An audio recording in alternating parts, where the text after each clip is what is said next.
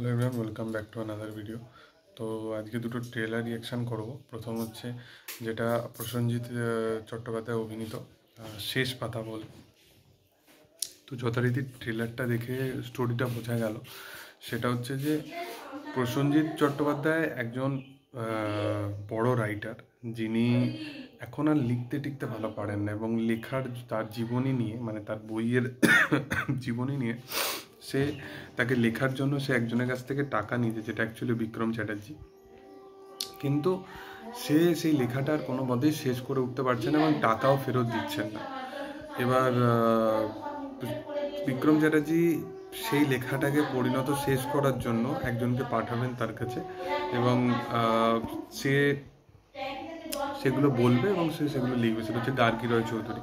তো যখন সে লিখতে আসবে, প্রসেনজিৎ আর গার্গী রয় মানে গার্গী রয় চৌধুরী প্রসেনজিতের যে বইটা, তাদের মধ্যে একটা সম্পর্ক সৃষ্টি হবে। সেই জিনিসটা অ্যাকচুয়ালি মূলত মুভির মধ্যে দেখিয়েছে এবং মানে ট্রেলারের মধ্যে দেখেছে এবার মুভিটা যখন মুভিটা যখন আসবে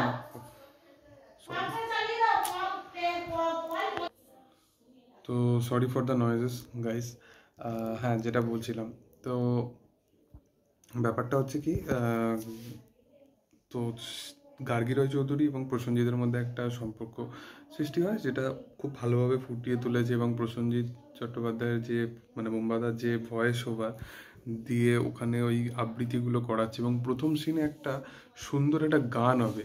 যেন মানে এত সুন্দর ওই গানটা এমন সময় দিয়েছে মানে গানের গলাটা যেন প্রসেনজিৎ চ্যাটার্জির মতনই লাগছে। মানে ওই ওই জায়গায় ওই গানটা খুব সুন্দর মনে হচ্ছে। তো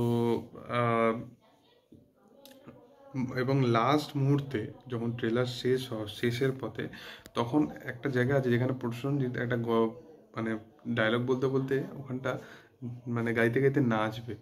ওখানটা না জাস্ট মুগ্ধ করে দেবে মানে ব্যাপক লাগছে ওনাকে মানে তো এরম টাইপের মুভি করবে না তো মানুষ কি করবে? যারা অ্যাক্টিং ভালোবাসে, সে অ্যাটলিস্ট কত কমার্শিয়াল ছবি করেছে, সে কত কমার্শিয়াল ছবি করেছে এবং এখন তার অ্যাক্টিং স্কিলটাকে দেখানোর মানে অবশ্যই সে বড় মাপের অভিনেতা এবং সে যখনই সুযোগ পায় বড় মাপের অভিনয় অভিনয় দেখানোর জন্য সে এরকমই চরিত্র করে এবং আউট অফ দ্য বক্স গিয়ে কাজ করেন।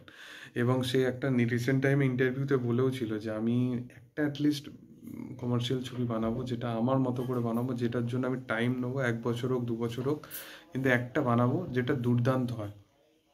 তো দেখা যাক কিরম হয়।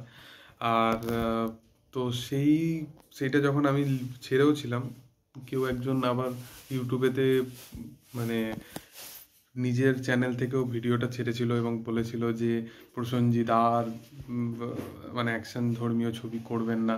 তো আমি আবার তার ওখানে গিয়ে কমেন্ট করেছিলাম যে অ্যাকচুয়ালি কি সে বলেছে তুমি সেটা জানো না, তুমি ভুল লোকের মধ্যে খবর ছড়াচ্ছ।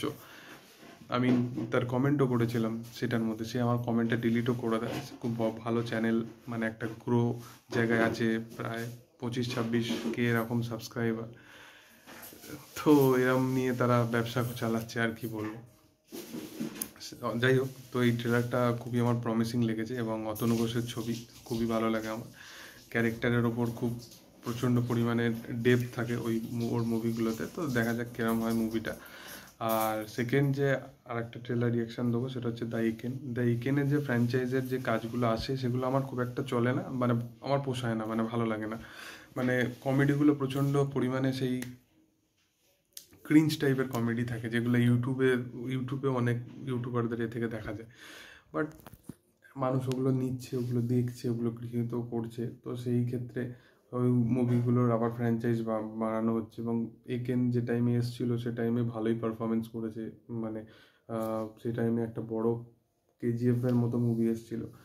তো যাই হোক এখান যে ছবিটা ছবিটা যে এই যে রিসেন্ট টাইমে যে ট্রেলারটা করেছে, আমার ট্রেলারটা পার্সোনালি খুব ভালো লেগেছে। তারা অ্যাকচুয়ালি রাজস্থানে গিয়ে যে শ্যুটটা করেছে এবং রাজস্থানে গিয়ে যে শ্যুটটা যেখানে করেছে, সেটা প্রচণ্ড রিয়েল লোকেশন মানে একদম রিয়েল লোকেশনে শ্যুটটা করেছে। তো সেই জিনিসটা খুব ভালো লাগছে দেখতে। এবং একটা ব্যাকগ্রাউন্ড স্কোর পুরো ট্রেলারের মধ্যে বাজতে থাকবে, সেটা খুব ভালো। এবং স্টোরিটা যেটা মনে হচ্ছে যে ওখানে এক মানে এক ধরনের যারা পুরনো যে রাজস্থানের যে মূর্তিগুলো, যেগুলো ফেমাস সেগুলো নিয়ে তারা স্মাগলিং করে এবং ইকেন গিয়ে সেটাকে ছাড়াবে। তো কিছু কিছু পোর্শানে যে কমেডি পোর্শনগুলো সেগুলোও সত্যি ভালো লেগেছে এবং রজতাভ দত্ত মানে অ্যাজ এ ভিলেনের চরিত্রে আছে। তো আর কি চাই? মানে মুভি তো সে একাই বের করে দেবে। তো অসুবিধা কিছু নেই।